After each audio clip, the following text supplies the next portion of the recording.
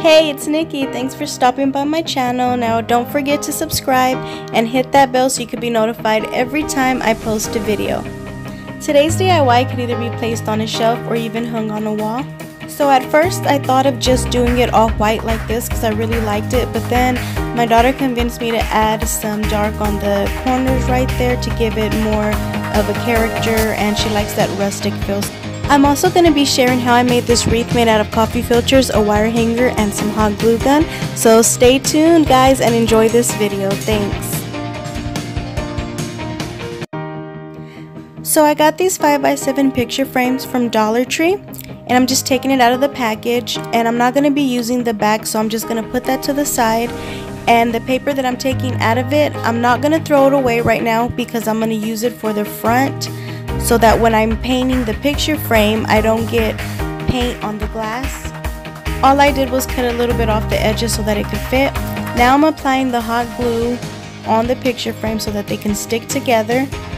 And then I'm going to add more glue and I'm going to attach that popsicle, big old popsicle stick to it so that it could have more support just in case I decide to hang it on the wall. Since the surface isn't even, I am applying a lot of hot glue.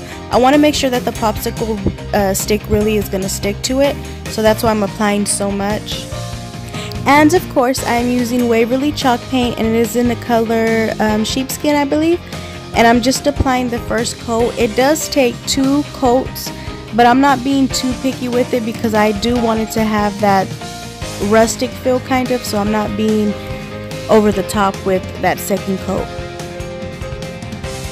Now while the first coat is drying, I am going to start on the last three picture frames that I'm doing. So I'm just going to repeat the process with gluing everything together, adding the popsicle sticks. And once I have that done, I will apply the uh, chalk paint on these as well.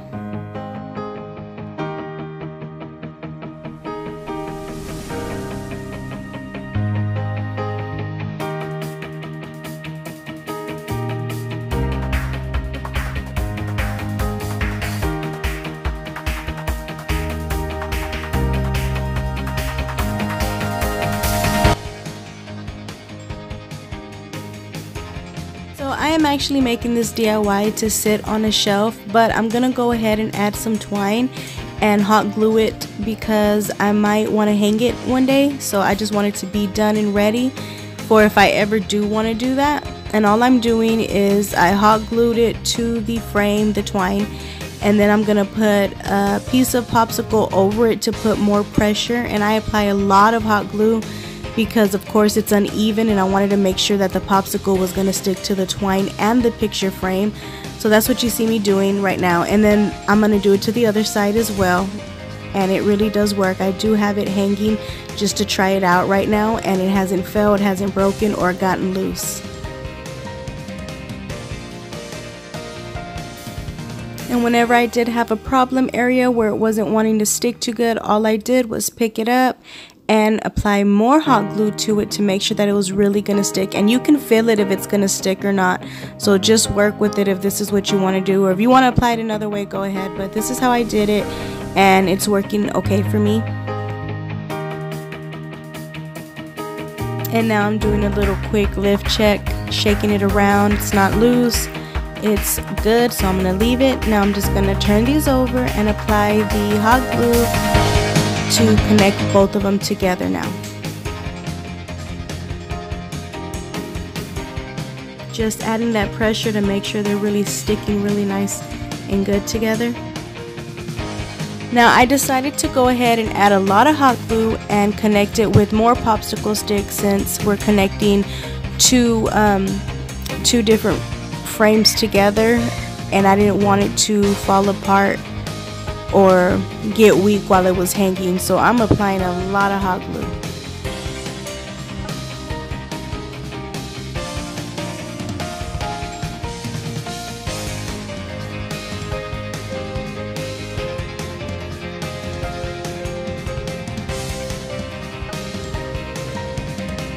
Okay, so once I turned it over, of course, since I applied so much hot glue, there was some that seeped through. So all I did was peel it off. It came right off didn't have any problems with it. I took off as much as I could and then I did go over it with a little more paint so it can just blend in.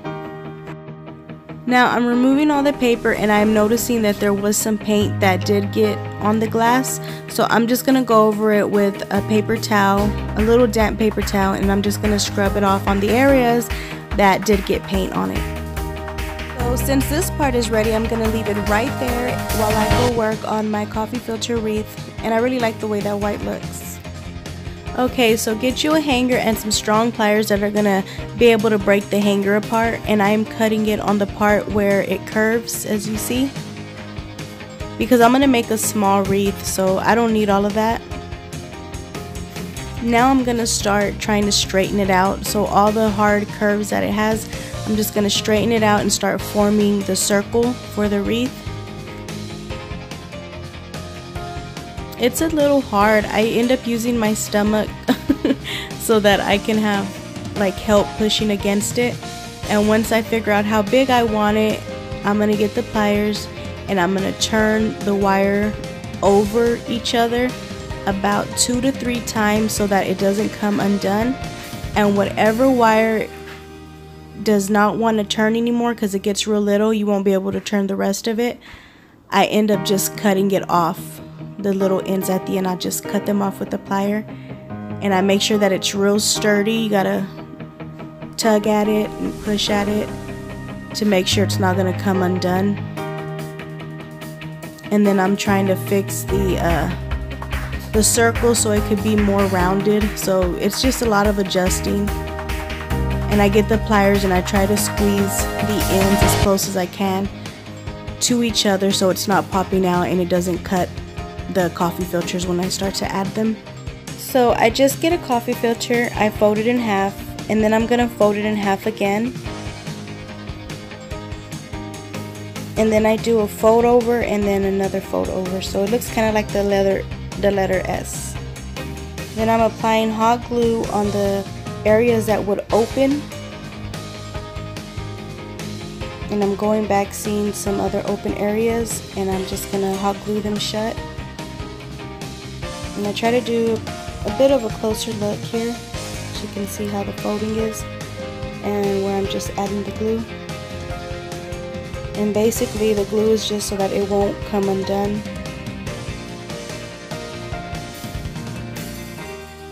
Now time to apply them. I'm going to show you two different ways and you'll see two different wreaths.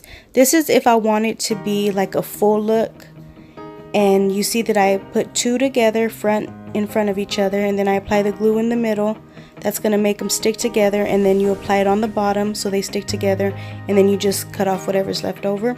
But I want a, a skinny wreath so I'm just going to use one and fold it. And I want to make them really I want to make it really little so I'm going to push the hanger kind of high. That's pretty high and then I just apply the hot glue on top and on bottom of the wire hanger so it won't come undone. And I'm just gonna cut off whatever is um, going past the coffee filter. Then I squish it together so you get that that kind of flowery look. It looks kind of like a flower. And then I'm just to repeat the process all over. And it's turned towards me. You don't want to leave it you know high up like it like you start off with you turn it so that it'll be facing towards you all the way around.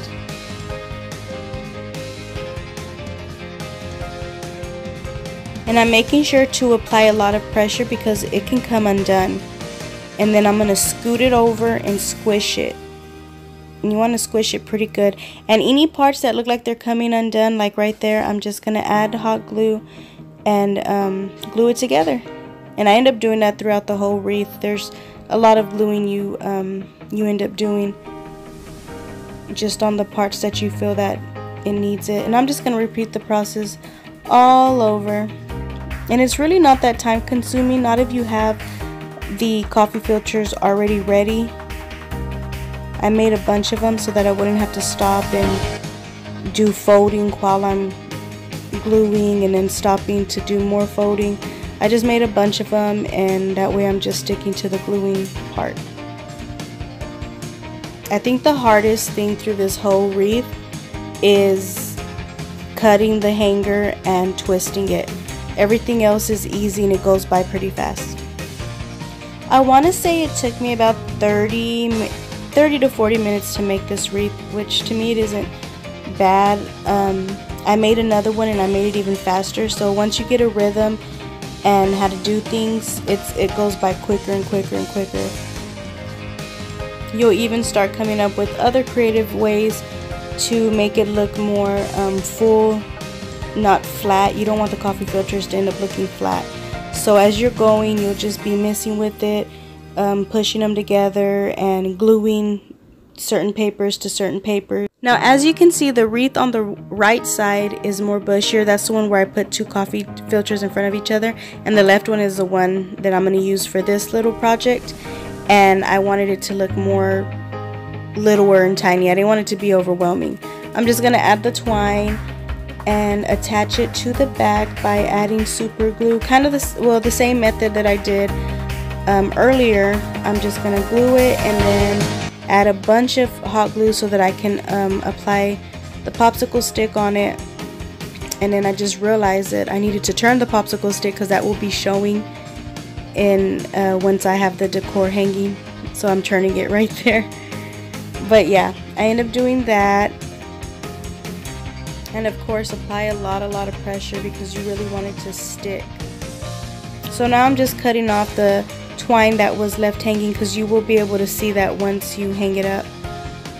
I end up finding some better scissors and cutting even lower. Okay so this is it. This is just all white. Um, I showed my daughter and she was like you need to add some black to it on the corners. She wanted a rustic look so I went ahead and tried it out you see me painting here and I did make a lot of mistakes but thank goodness with paint you can always go back with the chalk paint and kind of clean it up a bit.